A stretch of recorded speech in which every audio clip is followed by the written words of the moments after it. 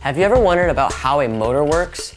We did a little research and found out the simplest way to demonstrate this was through a little device we ordered from Tedco Toys. And we wanted to let everybody know how cool and simple this device is. Plus, we have a challenge to see if anybody can outdo us.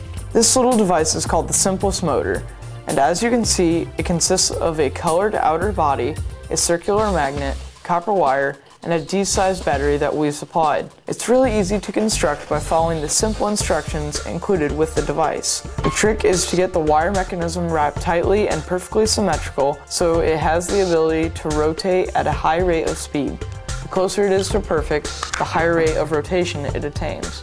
The motor works because electricity runs through the coil of wire and a magnetic field is formed. This magnetic field only forms when the bare wires touch the metal supports. You can feel this by holding the coil in place with the shiny ends down against the metal supports.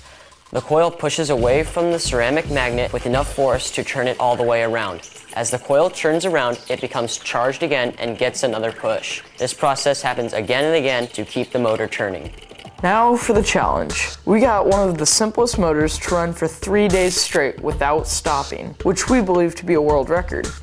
We want to put out the challenge to see if anybody can get one to run longer.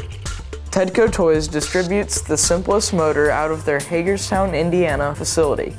To get a simplest motor for yourself and learn about other cool science toys, visit www.tedcotoys.com.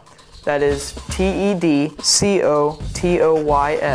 dot com. To find more cool science videos, type in Tedco in the search engine.